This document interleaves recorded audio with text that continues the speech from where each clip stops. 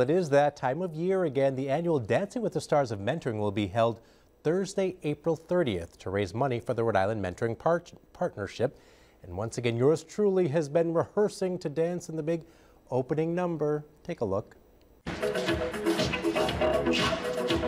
It started four years ago with the thriller of a performance and has been a staple of Dancing with the Stars of Mentoring ever since. With a different theme each time, the opening number has become an audience favorite over the years, and this year will be no exception. One, two, three, and four. Kathy St. Jean, co director of Dancing Feeling Studio in Warwick, is once again choreographing this year's piece and is introducing props just to keep me on my toes. From a ritzy performance with canes and hats to a funky version of a big band classic, we hope this step back in time with a modern twist will once again wow the crowd.